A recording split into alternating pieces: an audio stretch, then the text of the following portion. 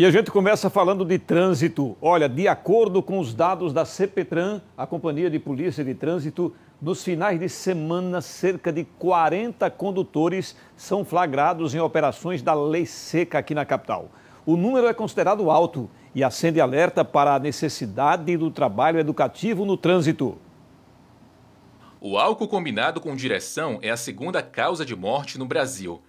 Foram registrados só esse ano na capital Aracaju 71 acidentes por embriaguez ou sintomas de embriaguez, que é quando o motorista ingere bebida alcoólica e se recusa a fazer o teste do bafômetro. O que se percebe nas operações de trânsito da CPTRAN, que é o órgão de trânsito da Polícia Militar de Sergipe aqui na capital, é que todos os finais de semana ainda insistem alguns condutores em conduzir seus veículos após ingerir bebida alcoólica. É tanto que são flagrados uma média de 40 pessoas por final de semana nas operações Lei Seca.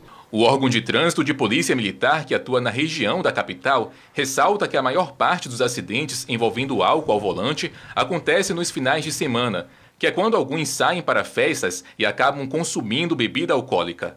Uma combinação perigosa que tem custado a vida de muitas pessoas. A maioria das pessoas que se envolvem em acidentes, ou seja, os condutores imprudentes que se envolvem em acidentes embriagados, a sua faixa etária é de 18 a 40 anos, em sua grande maioria, fazendo com que esse público-alvo tenha uma necessidade maior tá, de uma educação para o trânsito e uma prudência para que evite entrar nas estatísticas da CPTRAN.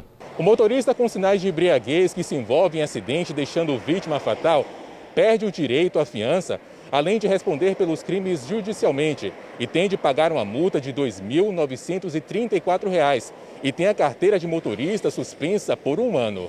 Um condutor embriagado que se envolve em acidente com vítima pode pegar de 5 a 8 anos de prisão. A gravidade com que possa acontecer o acidente faz com que essa pessoa ela tenha, além das dores de cabeça administrativa, que é a multa de quase 3 mil reais, a suspensão de um ano na habilitação, as penas judiciais pelo crime além do crime de embriaguez ao volante, o crime de lesão ou de homicídio culposo no volante.